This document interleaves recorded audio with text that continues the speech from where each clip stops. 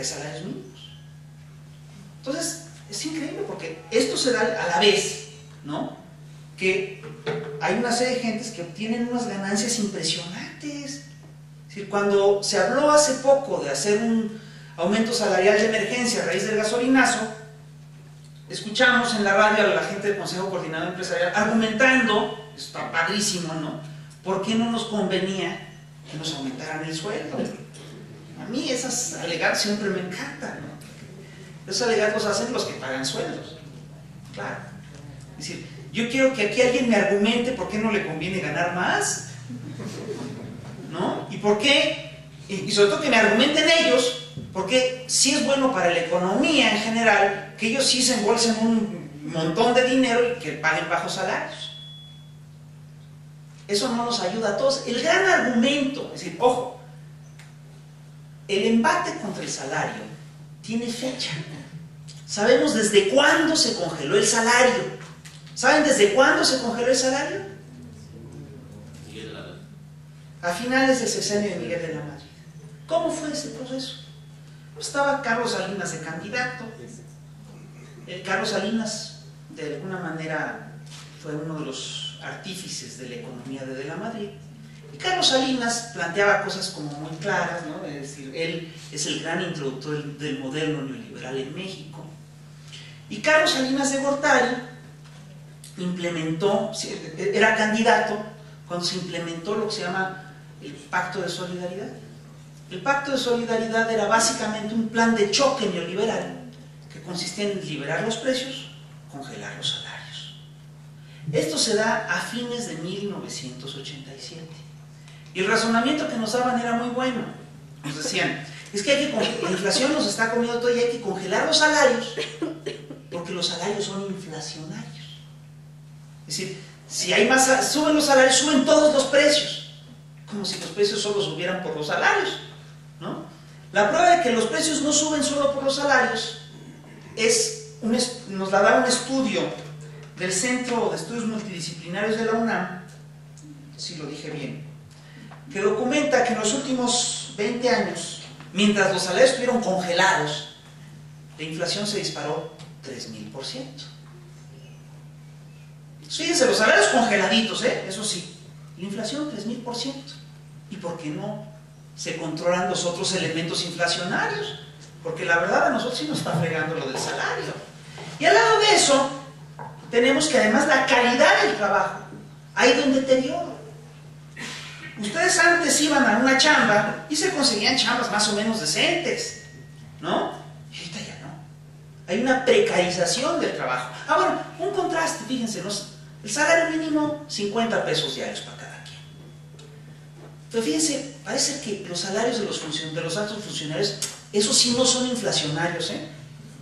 Porque los funcionarios mexicanos están entre los mejor pagados del planeta. ¿Saben ustedes cuánto ganaba Vicente Fox? 232 mil pesos, perdón, 232 mil 431 pesos al mes. Calderón prometió bajarse el sueldo. Y sí se lo bajó, pero luego se lo subió. Está padre, ¿no? Eso, eso se llama ser listo. Un funcionario de Estado, cualquiera, gana alrededor, ganaba en tiempos de Fox alrededor de 222 mil pesos al mes. Más prestaciones. Ah, se me olvidó un detalle de Vicente Fox. Los, Vicente Fox ganaba efectivamente 232 mil 431 pesos al mes además tenía gastos de operación. ¿Saben cuántos eran de, cuánto a cuánto ascendían los gastos, digamos, los gastos de casa corriente en tiempos de Vicente Fox? Eran, eh, ¿cuánto dijiste? 120 mil. 500 mil pesos diarios. 500 mil pesos diarios. Era eso. Es decir, eran como 15 millones de pesos mensuales extras. Yo, con eso sí puedo mantener mi casa, ¿verdad? El salario del presidente de la Suprema Corte es de 152 mil pesos mensuales, pero sus ingresos netos alcanzaban 514 mil 992 pesos hace unos meses.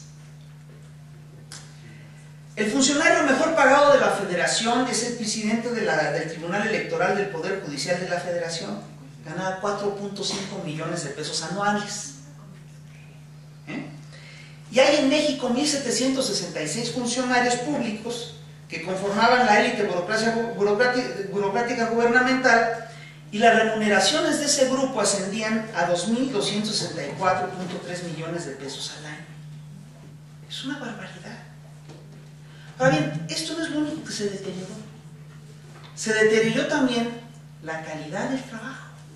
¿Cómo se deteriora la calidad del trabajo?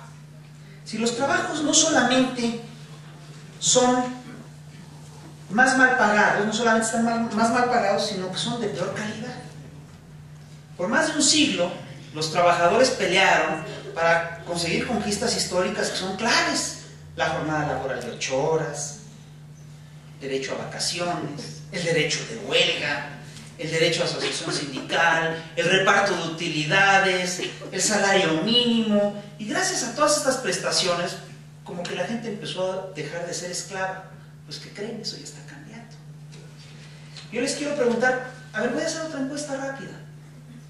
¿Quiénes de los aquí presentes trabajan o conocen gente o viven en una casa en la cual tiene que haber dos o más gentes laborando? Que levanten la mano, por favor.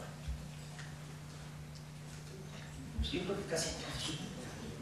¿Quiénes de los aquí presentes conocen a alguien que ha tenido que emigrar en busca de mejores condiciones de trabajo? No, si el modelo es un éxito, ¿eh? ¿Quiénes de los aquí presentes trabaja o conoce gente que tiene que trabajar más de 8 horas diarias? Por favor, ¿Quiénes de los aquí presentes conoce o ha visto a niños trabajando? Entonces, hoy en día les voy a decir cómo está la cosa en términos laborales. En los últimos 25 años, las condiciones del trabajador se han deteriorado de una manera brutal no solamente perdimos el 79% del poder adquisitivo del sueldo, sino que hoy en día hay 27.973.580 trabajadores, datos de la OI, por eso es tan preciso, casi 28 millones de trabajadores que no pueden comprar una canasta básica. En los últimos 25 años hubo en el país 6.2 millones de riesgos de trabajo. ¿Qué son los riesgos de trabajo? Un riesgo de trabajo son las enfermedades contraídas a partir del trabajo, es decir, que te cortas un dedo o que eh, quedas, quedas inhabilitado, o como sucede con los mineros, que tienen enfermedades de los pulmones por estar trabajando en las minas, esos son riesgos de trabajo. Son 6.2 millones de gentes que han tenido riesgos de trabajo. Esto implica que incluso a nivel de laboral, los niveles de seguridad laboral se bajaron. Y esto implica, entre otras cosas, que trabajar pues, es un riesgo serio. Y que implica que te puedes morir en la chamba. ¿Y saben qué? ¿Qué importa? Siete de cada diez trabajadores trabajan sin prestaciones sociales. Siete de cada diez trabajadores. Es decir, no reciben vacaciones, no reciben aguinaldo. Incluso y esto no, no lo digo para ustedes, fíjense, los muchachos estos que salen del TEC de Monterrey, ¿no? Pagan como 6 mil pesos de colegiatura eh, mensual, ¿no? Y reciben, se van a trabajar en chambas donde les pagan pues, como 5 mil pesos mensuales. aquí hay un problema grueso del mercado laboral. No es atractivo ponerse a chambear. Y esto, y, según una encuesta, la última encuesta que hay de la UNESCO, que es del 82, señalaba que en México hay 3.3 millones de niños que hacen algún tipo de trabajo. La mitad, por lo menos 1.5%, tenía un salario, trabajaba en empleos remunerados.